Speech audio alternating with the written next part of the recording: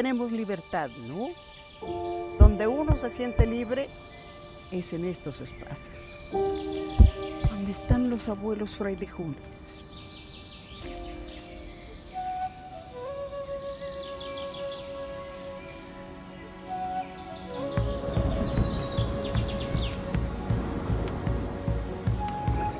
Este territorio, pues nosotros, es donde empieza la gran cuenca amazónica, ¿no? Estamos en límite con el Putumayo. Esa, esa relación de nosotros a ser parte también de la gran cuenca amazónica, eso también nos, nos lleva a juntarnos y empezar también a proteger. Tenemos nuestra propia alimentación, eso nos hace ser libres, ser autónomos.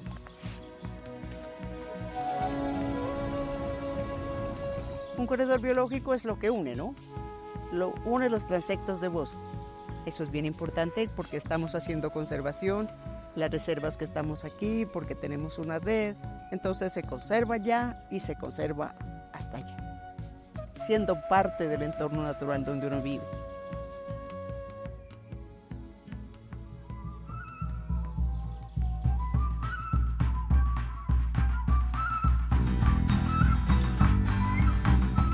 Nuestra ley de origen dice que nosotros los cumbales somos hijos de nuestro territorio,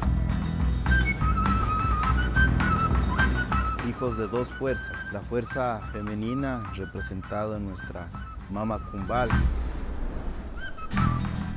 y la fuerza masculina por nuestro taita chiles.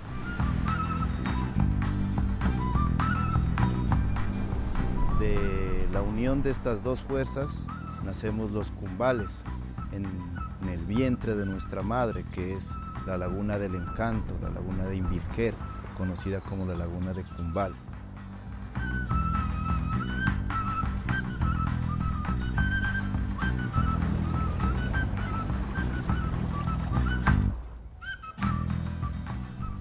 Todo nuestro territorio es vivo, nuestros apus, que son nuestras montañas, nuestros montes, nuestros páramos, el agüita nos da la medicina, las plantas medicinales también nos brindan sus saberes, sus conocimientos y sus curaciones. Nuestros sitios sagrados tienen memoria, que allí están los protectores, los espíritus mayores, en el cual nosotros debemos respetar. Y debe haber un permiso, un diálogo con ellos a través de la medicina, a través de la espiritualidad. Y por medio de eso nosotros generamos esa armonía entre el ser humano, entre la madre tierra, pero también entre la comunidad, porque si nos desarmonizamos en comunidad, la madre naturaleza como nuestra madre también se va a sentir mal.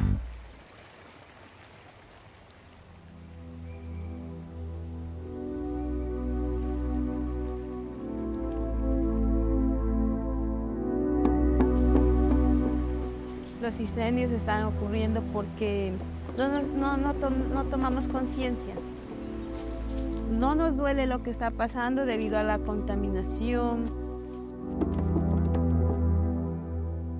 Cuentan los mayores que antes ellos nadaban, disfrutaban de, de todo y ahora al talar árboles, al estar contaminados ya no encontramos nada.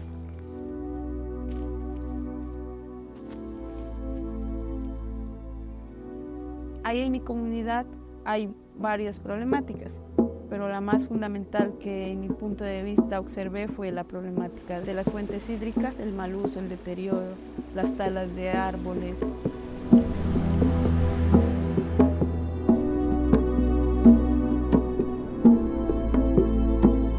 Queremos espacio,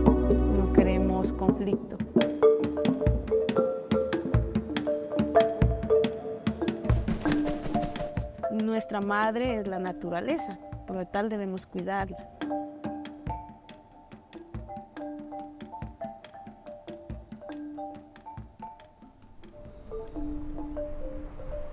Tumaqueños se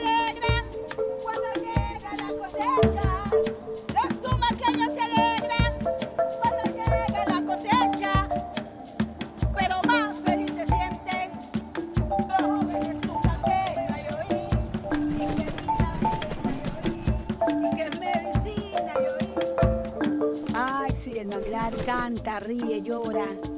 Y más cuando los ahumamos, que traemos sus ahumeros, porque a les gusta que los perfumen.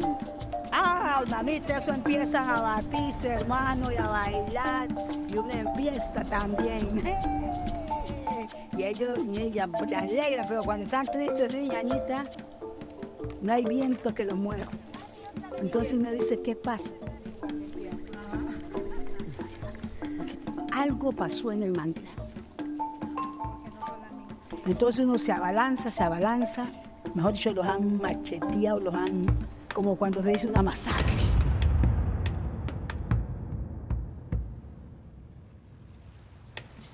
Sobre el lomo de tres pargos se formó este litoral, al que se llamó Tumaco. Y es que negro soy, yo vengo de una cultura obligada de alegría, donde es la manglería que nos moja como el sol. Yo soy Océano Pacífico, orgulloso negro soy. Soy descendiente de aquellos que rompieron las cadenas y sembraron libertad. ¿A qué me tiene que sonar la marimba? Fui comenzando a buscar, me fui a la playa casi a las 5 y media de la mañana, a las 6, a aprender a escuchar los sonidos de la naturaleza. Entonces escuché cómo suena el mar. El mar cuando llega y choca en, la, las rocas, entonces suena como tiene un eco, como ese cu, cu.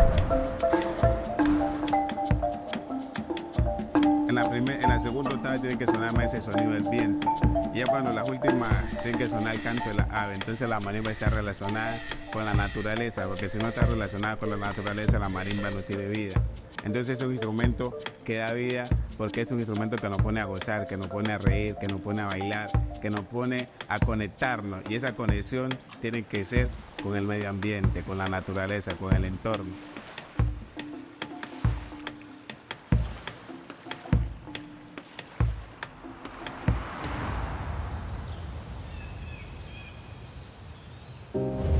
Y en este momento ya estamos al borde del abismo.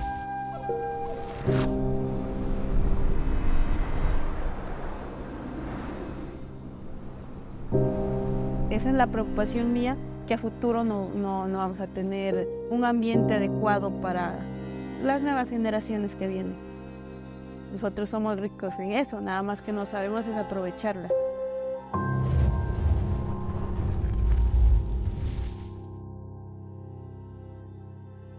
¿Qué nos motiva?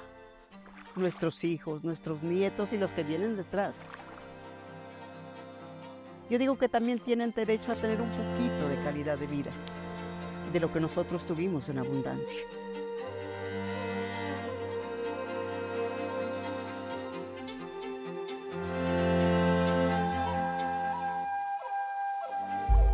Empezar nuevamente a recuperar estos ecosistemas que son tan importantes para la vida. Buscar estrategias que sean armónicas con nuestro territorio, buscar estrategias distintas para no seguir destruyendo y más bien lo que hemos hecho siempre los pueblos indígenas, conservando y contribuyendo a, que nuestra madre tierra, nuestro territorio tenga vida. Nosotros estamos preparados para vivir en el campo, para cuidar y hacer producir la tierra, sanamente, cuidándola, protegiéndola.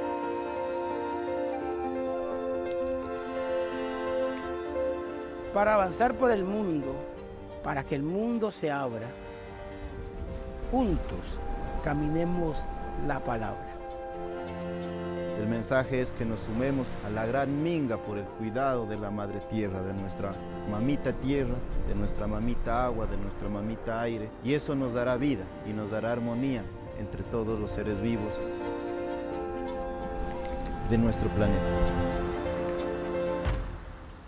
Que amar la naturaleza nos hace libres.